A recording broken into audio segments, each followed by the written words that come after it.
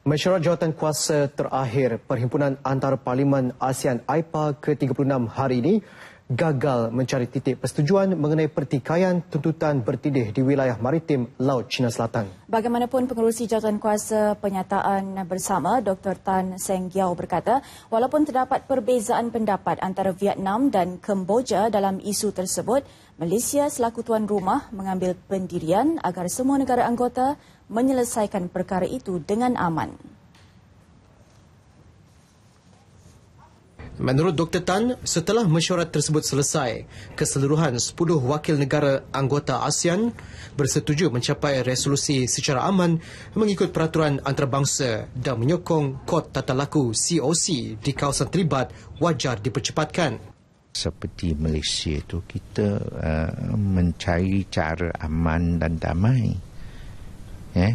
Dan kita dapat hubungan dengan China misalnya Uh, secara baik untuk selesaikan masalah uh, tuntutan bertindih ini dan kita di dalam ASEAN pun uh, ASEAN ada uh, satu formula uh, satu langkah untuk menyelesaikan masalah ini secara aman dan damai mengikut code of conduct uh, amalan antarabangsa.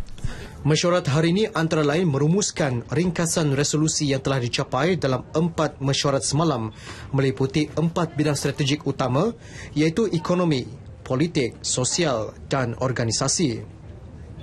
Antara resolusi yang akan dibentangkan esok ialah kesungguhan ASEAN untuk memperkukuh industri kecil dan sederhana IKS juga akan dibentangkan esok resolusi tentang pemuliharaan biodiversiti dan ekosistem dalam kalangan negara anggota. Esok juga akan berlangsung sesi pleno kedua yang akan dipengerusikan oleh Presiden AIPA Tan Sri Pandikar Amin Mulia. Dalam sesi tersebut, tujuh jawatan kuasa akan membentangkan resolusi yang telah dicapai.